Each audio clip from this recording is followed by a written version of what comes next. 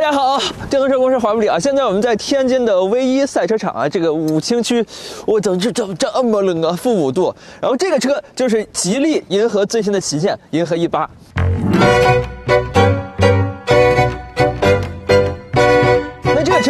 在呃静态的时候给大家好好拍过它的外观、它的内饰以及它的一些小细节。如果感兴趣的朋友们可以看一下上期那期节目补个课啊，当然不补也没有关系，我们在这儿简单再把它的基本盘盘一遍。这个车 B 级车，但是它的车长到了五米啊，五米零一，轴距二九二五啊，这个基本是这个级别最长的。中型车了吧？这个还能叫中型车吗？对 对吧？浩瀚架构啊，吉利自己品牌的首个浩瀚架构的车型，也是浩瀚架构里边第一辆纯电轿车啊。对，零零七在它之后啊，它是第一辆。呃，有四百伏和八百伏的架构啊，四百伏用的是极氪零零一。同款的二百千瓦的后驱电机，那八百伏的架构呢？它的总功率到了四百七十五千瓦，后边的电机好像是三百多千瓦，具体数据我打在上面啊。也就是四百七十五什么概念呢，兄弟们？路特斯的 SUV 它的标准版，也就是 S 加版，它的功率是四百五十千瓦，而这个估计二十出头顶配车型三十万上下的车。它的功率四百七十五千瓦，然后百公里加速，据说今天有媒体老师踩出了三点三三秒的成绩，百公里刹车距离三十五米，配的还是固特异的一个静音胎，就很离谱。那今天我们的目的啊，就是去把它尽量开明白。那我们上车吧，啊，太冷了。这个你知道什么感觉吗？这个棍儿，东北的铁栅栏，我现在手跟它就完全的没有知觉。你赶紧上车吧。哎，好，谢谢。这个科目主要是体现银河 E 八的转弯半径啊，他们的转弯半径标定是五点六二米，开上去就是感觉体感很大，但是 打起方向，而且这个车很神奇，它没有后轮转向，然后这么灵活。当这种工作变成玩耍的时候就很快乐啊！我们总结一下这个科目，这个科目叫做纸箱迷宫，然后是由一大堆直角弯去完成的。可以看到我们的设备还在那儿架着呢。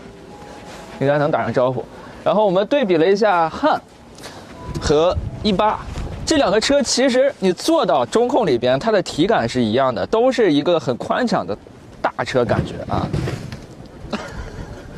拍到了吗？我不知道，不是我，强他了啊！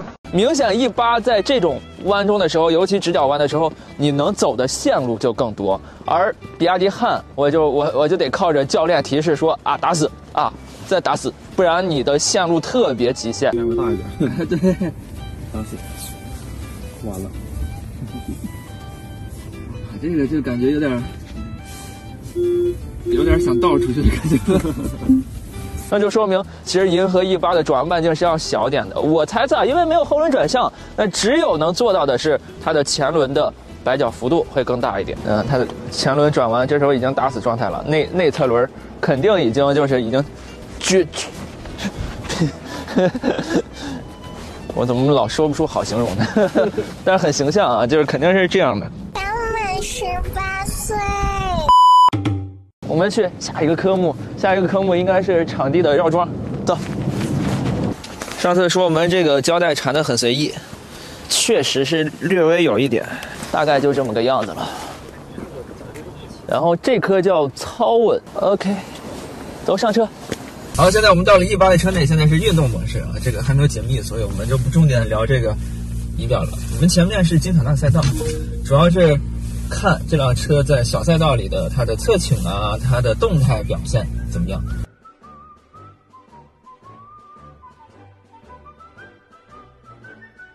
什么评价呢？啊，我因为我现在只是在小赛道开了一圈，有点出乎意料，因为我以为就是这个级别的五米的家用车，你即便动力再强，但是它你应该是那种晃晃悠悠、舒舒服服的那种。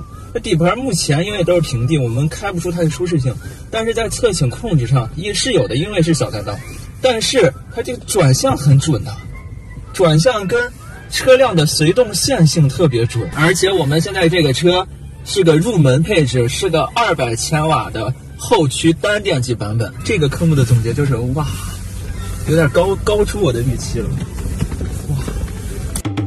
好，我们现在来到的科目叫做颠簸路啊，主要看这个有减速带啊，有井盖有砂石路，主要来看一下这个底盘的滤震性，以及在处理这种颠簸路的时候底盘的一个反应。那同时可以看到它的竞品车啊，依旧是新款的 Model 3。说实话，吉利调的底盘在国产车里边已经算比较干脆利落有韧劲儿了，但相比 Model 3这种偏运动的。轿车来说，那肯定是没有 Model 3那么利落。但 Model 3也有 Model 3的问题，就是它太硬了，太颠了，开起来是很爽，但坐起来啊是真的不舒服。而且，像 Model 3在走这壳的时候，我们前边的减速带理论时速是要求在二十，井盖也是二十，砂石路十五，Model 3就不自觉的让我想把速度放下来，太颠了。而银河 E 八在过这些的时候，我觉得二十是完全没问题，我可以稳住速度。在砂石路的时候，十五我还觉得，我甚至还可以觉得。再快一点，所以相比如果带入到咱们正常这个级别买的这样的轿车的一个使用环境来说，银河 E 八肯定是更合适的啊，主打家用嘛，偏突出的。第一次三秒五三，第二次三秒四九。第三次三秒五三，而且它的电量我刚才看了一下，只有百分之七十一。固特异的静音胎啊，就是它的常规的家用胎。就我很纳闷，咱们中国的家教已经发展到这个地步了，就很离谱。不愧是有着浩瀚架构的底子。那我们今天肯定是四驱车，就是实打实的啊，没有反向虚报，真的真实的成绩。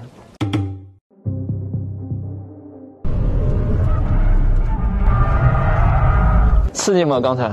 刺激，那属于我摸它极限摸痞了，就推出去之后赶紧救回来。为什么？因为我在找它极限的时候，我发现这个乐趣很快乐。这个车虽然拿它开的第一圈的时候，我们都在熟悉赛道，但第二圈当我熟悉了，我想去稍微做点速度的时候，发现地板油的时候八十之后大直道地板油它就没劲儿了。那还是说回它。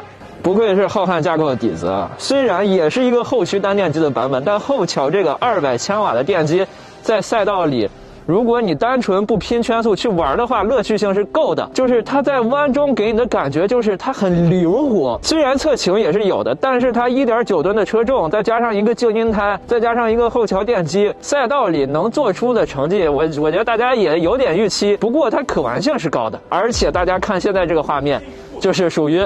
我在摸它底线，我刹车带着刹车入大弯，结果它推了，推了之后，但是我马上反打也能救回来，啊，这个车确实好玩，不愧是浩瀚啊，不愧是吉利。如果再考虑它未来的价格的话，它的八百伏架构的后驱车，六百六十五公里的续航，我觉得应该会是主销车型，算是一个中高配吧，那个应该是主销。